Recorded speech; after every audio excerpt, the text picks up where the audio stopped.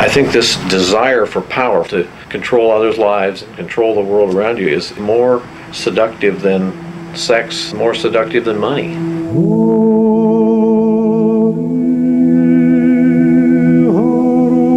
you don't have power, it means that you're hungry and you're cold and you're in the dark, no information.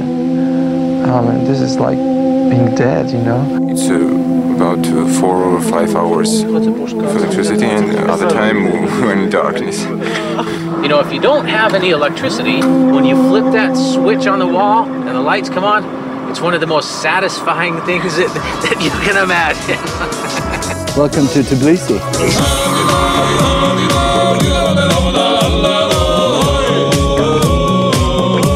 When the Americans came, everybody expected immediately there'd be 24-hour power forever. AES It's here to make them pay, and they don't want to pay. This bill is the most scary thing in Georgia nowadays.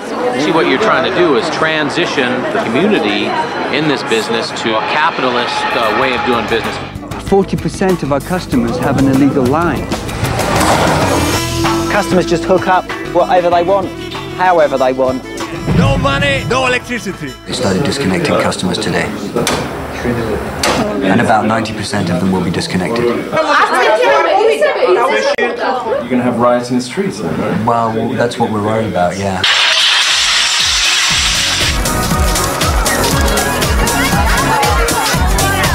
You just look at the scale of this problem. You get lynched, you can't control the mob. Go to the Minister of Energy and ask that they give power to where we pay. And what the State Department has to say, Russia or whoever, we're there to serve the people of Georgia.